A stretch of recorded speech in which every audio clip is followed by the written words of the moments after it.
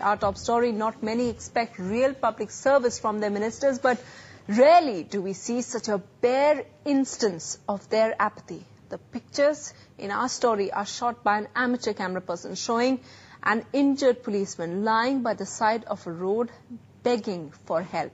A government convoy with two Tamil Nadu ministers in it stops but doesn't provide any real assistance until it's just too late. Sub-Inspector R. Vetrivel lay bleeding profusely, begging again and again, asking to be saved. But these ministers refused to even step out of their cars. Yesterday afternoon, Vetrivel was attacked by local gangsters who hurled country-made bombs and then left the 44-year-old policeman to die. Soon after, a government convoy with not one but two state ministers, Health Minister Paneer Selvam and Sports Minister PP Moinuddin Khan, along with Collector M. Jayaraman, came by. They stopped, but no one came out to help. Finally, after dithering for several minutes, the collector came out and called for an ambulance. The ministers kept sitting in their car. Crucial minutes went by, the ambulance never came.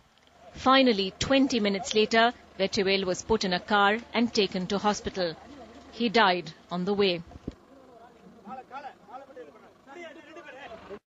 One of the ministers stepped out, but only after the dying man was removed from the site. The doctor said the sub-inspector had lost too much blood.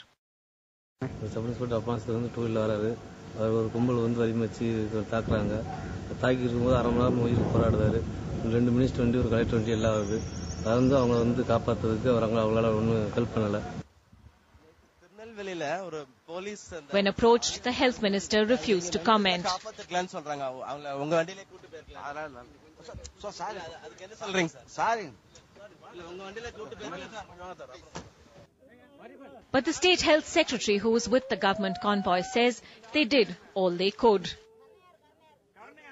That naturally will take about 30 minutes for the vehicle to come in that particular place. The meanwhile, we arrange the body to be transported uh, uh, in another police vehicle. I think what could be done during that scene, we have done at that time. Everybody came out, came down, including the health secretary. We came out and we went to the body. And the policemen, they chased the people who, uh, who were uh, carrying the bombs and all. I think police did a wonderful work and uh, whatever could be done at that particular scene, it was done. But is this really all they could do? Look at the sequence of events again. After they found the sub-inspector, it took eight minutes for the collector to come out and call for an ambulance. And then another 20 minutes went by before the sub-inspector was finally taken to hospital. Neither of the two ministers, representatives of the government, even bothered to step out. All this while he simply lay there with people walking by. No one tried to help him or even go near him. Sub-Inspector Vetrivel leaves a wife and two young sons behind. Well, the government often sensitizes the public of saving lives of victims in the golden hour without waiting for legal formalities. The people who know that best, ministers and senior bureaucrats, seem to have not followed that. So the question, should these ministers be punished for their callousness? With Sam Daniel, Ankita Mukherjee for NDTV.